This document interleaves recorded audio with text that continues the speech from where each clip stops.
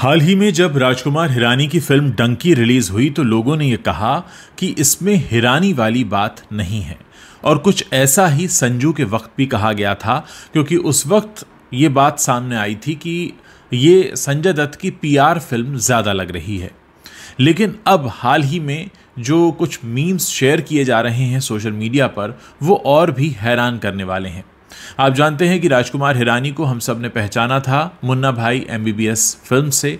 और अब ये कहा जा रहा है कि जिस साल मुन्ना भाई की फ़र्स्ट फ़िल्म आई थी 2003 में, उससे पाँच साल पहले 1998 में पैच एडम्स नाम की एक फ़िल्म आई थी, जिसमें रॉबिन विलियम्स ने काम किया था। और ये फ़िल्म भी बिल्कुल ऐसी ही कहानी पर आधारित थी, जिसमें एक शख्स अस्पताल में दाखिल होता है और ये बताने की कोशिश करता है कि कितनी ही बड़ी बीमारी क्यों ना हो, वो किसी की चेहरे पर मुस्कान लाने से दूर हो सकती है और इसके कई सारे सीन्स भी शेयर किए जा रहे हैं।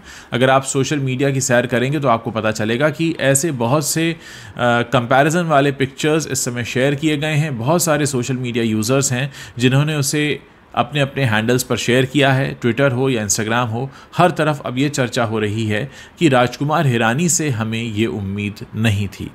अगर आपने ये फ़िल्म देखी है तो क्या आप ये बता सकते हैं कि इस फ़िल्म का सेंट्रल आइडिया क्या वहाँ से उठाया गया था?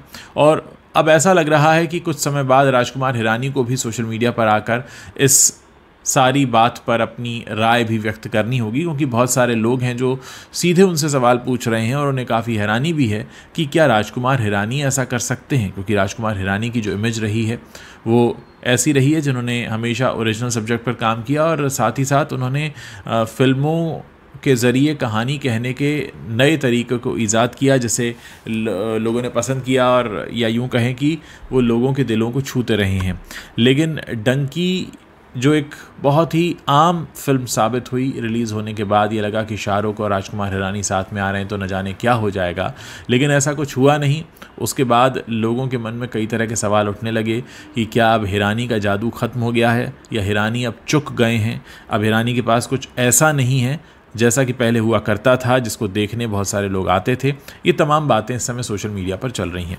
मैं आप लोगों से भी जानना चाहूँगा कि क्या आपको भी ऐसा लगता है कि राजकुमार हिरानी का जो जादू हमने थ्री इडियट्स में देखा या हमने मुन्ना भाई में देखा, वो डंकी के समय नहीं देखा? और अब जब लोगों को ये लग रहा है कि ये मुन्ना भाई भी किसी की कॉपी हो सकती है, क्योंकि बहुत सारे ऐसे सीन्स हैं इसमें जिनको कंपेयर किया गया है जैसा मैं बता रहा हूँ कि अगर आप सोशल मीडिया पर जाएँगे तो आपको ऐसे बहुत सारे सीन्स दिखने वाले हैं। तो ऐसे में आप अपनी क्या राय रखते हैं? क्या आपको लगता है कि राजकुमार हिरानी ने वाकई मुन्ना भाई का भी सेंट्रल आइडिया कहीं से चोरी किया था? खासकर अब जब हमने उनकी डंकी फ़िल्म देख ली और ऐसा लग रहा है कि डंकी में वो हिरानी वाली बात नहीं है तो ऐसे में ये सवाल अब बहुत बड़ा हो जाता है। आप लोग इसके बारे में अपनी क्या राय रखते हैं? मेरे इस वीडियो के नीचे कमेंट करके बता सकते हैं।